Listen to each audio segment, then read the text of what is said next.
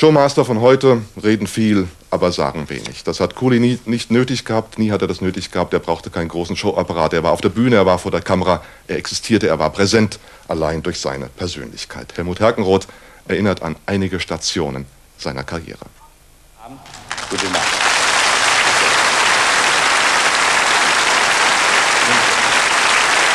Dankeschön.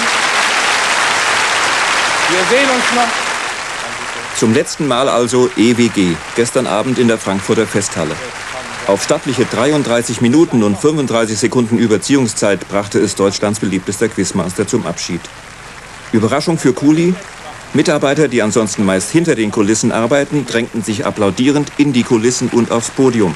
Ein Dankeschön zu sagen dem Mann, der mehr als 34 Jahre lang erfolgreich Quizsendungen gemacht hat.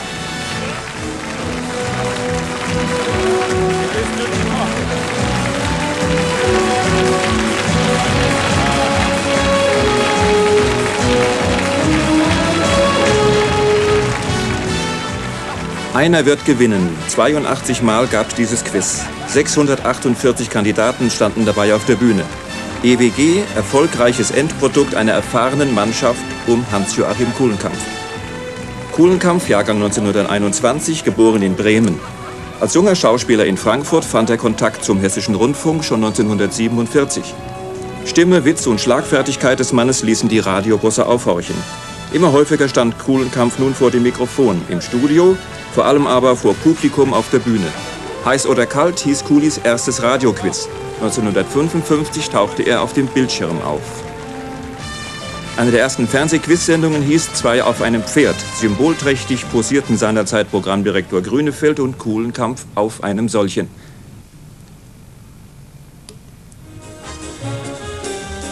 ...1964 dann erstmals jener Titel, wenn auch in anderer Schrift, der bis zuletzt das große Zugpferd blieb. Einer wird gewinnen. Die Hessenschau dokumentierte im Juli 1963 im eigenen Haus ein Ereignis, das Quizgeschichte machte. Im Zimmer des Programmdirektors unterzeichnete ein nicht unbekannter Quizmaster einen Vertrag, beobachtet von Produzent Martin Jente und von Regisseur Eckhard Böhmer. Kuhlenkampf hatte damals einige Monate lang keine Quizsendung mehr gemacht. Die Fernsehnation durfte aufatmen. Kuli kam wieder. Und er blieb, auch das soll erwähnt werden, dem Hessischen Rundfunk und damit der ARD treu. Nach Titel und Inhalt befragt, sagte er 1963, Sie, sie wird eine äh, Quizsendung sein mit äh, Teilnehmern aus acht europäischen Ländern. Ja. Also ich hoffe, dass wir da den Ländern auch, die sich da anschließen werden, vielleicht ein bisschen Spaß machen, dass sie ihre Kandidaten wie bei uns in Deutschland dann sehen. Mhm. Und äh, will nicht behaupten, dass es die europäischen äh, Gedanken sehr fördert, aber ich, mir geht es jedenfalls so, erstens mache ich das sehr gerne aus diesen, auch aus ja. politischen Gründen, denn entgegen der weit verzweigten Ansicht vielleicht vieler Fernsehteilnehmer hat auch ein Conferencier oder ein Schauspieler eine politische Ansicht mhm. und muss er heute haben, glaube ich. Ein moderner Mensch kann nicht einmal so durch die Gegend latschen. Gibt es schon einen Titel dafür? Und der Titel, ja, der Titel ist also... gerade von Politik? Ja, EWG. Also eine, EWG sind die Anfangsbuchstaben. Einer wird gewinnen mit dem Untertitel Europäische Wochenendgemeinschaft. Von der ersten Sendung im Januar 1964 in der Rhein-Main-Halle Wiesbaden gibt es leider keine Aufzeichnung. Dieser Ausschnitt stammt aus der EWG-Sendung im Oktober 1965. Und wozu wollen Sie, nein, wo kommen Sie her? Warte auf, Entschuldigung, wo, wo, kommen Sie her? Aus München. Aus München. Oktoberfest haben Sie hinter sich? Ja. Wie war's? Ich war gar nicht da. Sagen, sind Sie eine Münchnerin? Nein. Quizmaster, das ist, wie Kuhnenkampf einmal gesagt hat, eigentlich nur eine hübsche Nebenbeschäftigung. Gelernt hat er ja schließlich die Schauspielerei. Und immer wieder ging und geht er auf Theatertournee. Immer wieder aber reitet ihn auch der schauspielerische Übermut und er schlüpft in Masken und Kostüme historischer Persönlichkeiten. Vor allem dann, wenn es gilt, ein Filmepos zu produzieren, das dem staunenden Quizpublikum und den Kandidaten vor Augen geführt wird.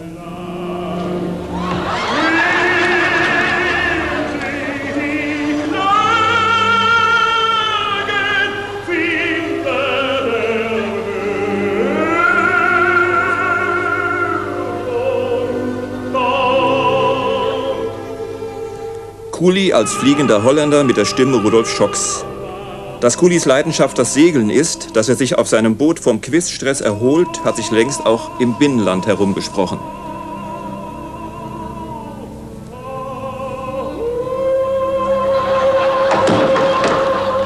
Wer ja aus, ja ein Quizsendungen macht, sucht auch mal nach Abwechslung, nach anderen Sendeformen. Feuerabend war solch ein Versuch. 1975. Gespräche und Spiele am Wir Kamin. an, eine gütige Fee wäre in der Lage, dem Herrn von Heeremann drei geniale Begabungen zu vermitteln.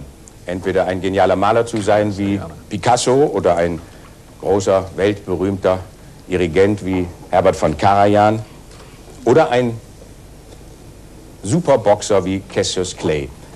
Was glauben Sie, Herr Mischnick? Wofür würde sich Herr von Heeremann entscheiden? Für den Picasso, für den Karajan oder für den Clay? Für den Karajan. Für den Karajan. Was Karajan unter den Dirigenten, könnte man jetzt sagen, das ist zweifellos Kuli. Nun, was jedenfalls die Eins der ARD bedeutet, das hat er seinem Publikum vor zwei Jahren, als das Signier neu war, deutlich erklärt. Sie sollten sich, weil es einigen von Ihnen schwer gefallen ist, Sie sollten sich endlich mal an diese Eins gewöhnen. Diese Eins ist nämlich mir nachgebildet. Groß, breit. Nur damit keine Verwechslung vorkommt, hat man den Riesenzinken da eckig gemacht. Das ist der ganze Unterschied. Nun verlässt also die personifizierte Eins, zumindest als Quizmaster, seinen Haussender, den HR.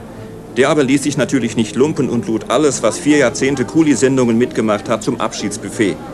Und dann präsentierte HR-Intendant Hartwig Kelm das Abschiedsgeschenk, genauer gesagt eine symbolische Mini-Ausgabe davon. Sollte Kuli, fragt man sich beklommen, nie zuvor Fernsehen als Zuschauer genossen haben? mit Videorekorder bereits auf dem Weg zu ihrer Wohnung nach Österreich. Ein besonderes Dankeschön gab es auch für Hans-Otto Grünefeld, den langjährigen Fernsehdirektor, und für Rudolf Küfner, den ebenso langjährigen Ausstattungschef. Und auch für Eckhard Böhmer, den Regisseur auch der letzten EWG-Sendung. Und obwohl alle geschworen hatten, keine Reden zu halten, gab es dann doch ein paar Abschiedsworte. Wir denken an alle und wir danken alle und ich danke allen. Und jetzt nochmal guten Appetit, guten Abend.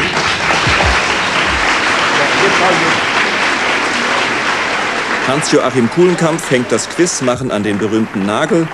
Doch in anderen Sendungen wird er uns erhalten bleiben. Demnächst auf dem Bildschirm zum Beispiel als Lügenbaron Münchhausen.